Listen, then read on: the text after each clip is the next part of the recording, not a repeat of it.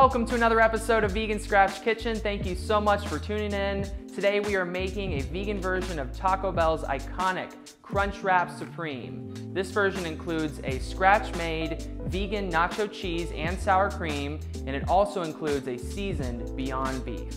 Let's make the nacho cheese sauce first. Peel one medium-sized russet potato and dice.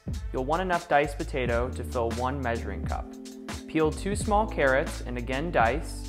You'll need one half cup of these.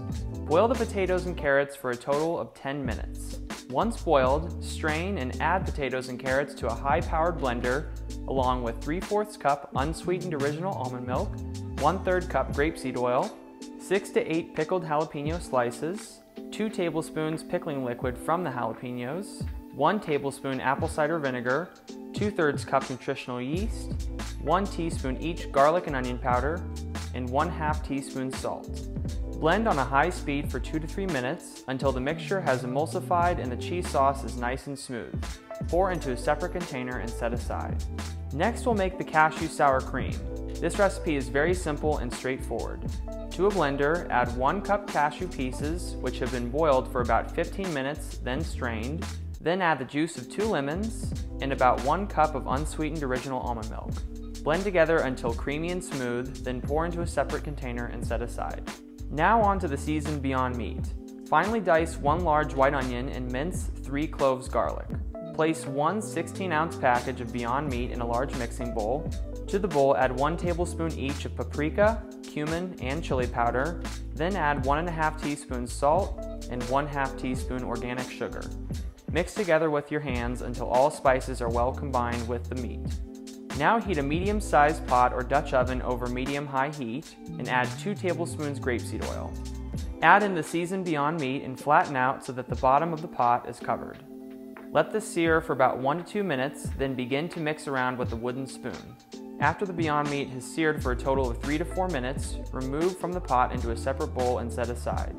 Place the same pot back over medium-high heat and add another 1 to 2 tablespoons of oil. Then add in your diced white onions and mix around.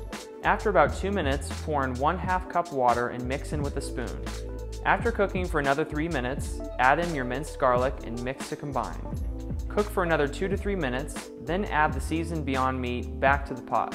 Mix in until well combined. Cook for about 3 more minutes, then remove from the heat and pour the meat mixture into a separate bowl. For the final part of the prep, thinly slice 1 4th of a head of lettuce and finely dice 2 tomatoes on the vine. You'll need one package of large flour tortillas and one small box of tostada shells. Lay out one flour tortilla on your work surface and place one tostada shell in the center. Use a pizza cutter to cut around the edge. Now set the tostada shell in a similar sized small tortilla round aside in the same place. Place one large tortilla out on your work surface and layer ingredients in the following order. First add 2 to 3 tablespoons of your seasoned Beyond Beef, then 2 to 3 tablespoons of the vegan nacho cheese. Place the tostada shell on top. Next add some sliced lettuce, about 2 to 3 tablespoons of vegan sour cream, and then about 14 to 16 diced tomatoes. Now top with the small cut out flour tortilla and for the final step, begin to fold the outer part of the tortilla over into the center by creating a pleat. Then continue to fold in pleats around the center in a clockwise fashion until all the outer edges have been folded in. Flip the crunch wrap over so that the pleated side is on the bottom, and repeat this process for the remaining crunch wraps. Heat a large griddle or a saute pan over medium-high heat, and once hot, add the crunch wraps pleat side down to the pan.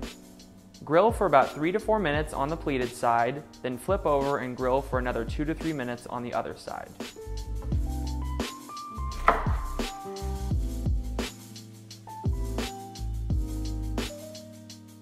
Thanks so much for watching today. If you like what you saw, please subscribe to my YouTube channel, follow me on Instagram, and I'll see you around.